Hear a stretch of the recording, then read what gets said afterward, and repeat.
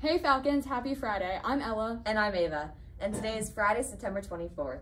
Pitcher retake day will be Thursday, October 21st. Whiteout clothing orders are due on Monday by 2.30 in Mrs. Mises room 306. Clubophilia applications are due today to the counseling office.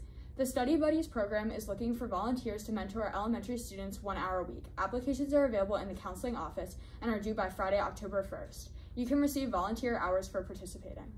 Science National Honor Society will have its first meeting next Tuesday at 7 a.m. in the small cafeteria.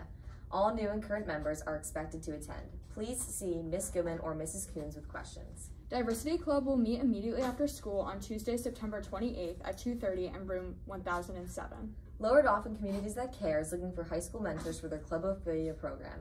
Applications can be picked up in the counseling office. Submission deadline is tomorrow. Minithon is having a King Kong Creamery fundraiser this Sunday from 4 to 8 p.m. And that's all we have for announcements today. Thanks for watching.